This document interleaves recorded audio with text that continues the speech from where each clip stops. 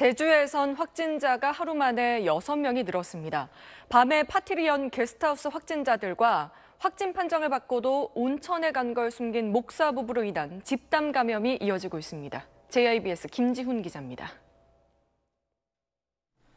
A 목사 부부가 다녀갔던 삼방산 탄산 온천입니다.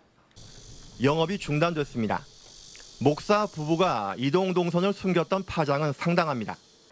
같은 날 이곳을 다녀갔던 손님 가운데 3명이 추가 확진 판정을 받았습니다.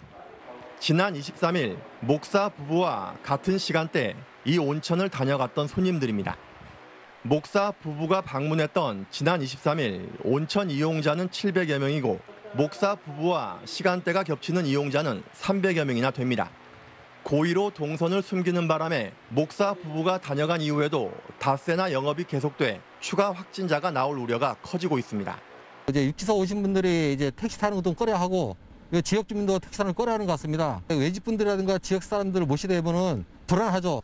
마스크도 안 쓰고 야간 와인 파티를 했던 루프탑 정원 게스트하우스발 확진자가 추가됐습니다. 확진 판정을 받은 투숙객이 지난 26일부터 이틀간 제주시 애월읍의 다른 게스트하우스에 투숙했는데 이 게스트하우스 직원이 3차 감염됐습니다. 제주도청과 제주시청 일부 부서가 폐쇄되는 일까지 발생했습니다. 탄산 온천에서 목사 부부에게 감염된 확진자가 화장품 판촉을 위해 방문했던 사실이 확인됐기 때문입니다. 지역사회 감염이 우려가 됩니다. 현재로서 없다고 단언할 수 없는 상황까지 됐습니다. 제주에선 지난 20일 한 달 만에 코로나19 확진자가 발생한 이후 열흘 새 확진자가 18명이나 늘었습니다.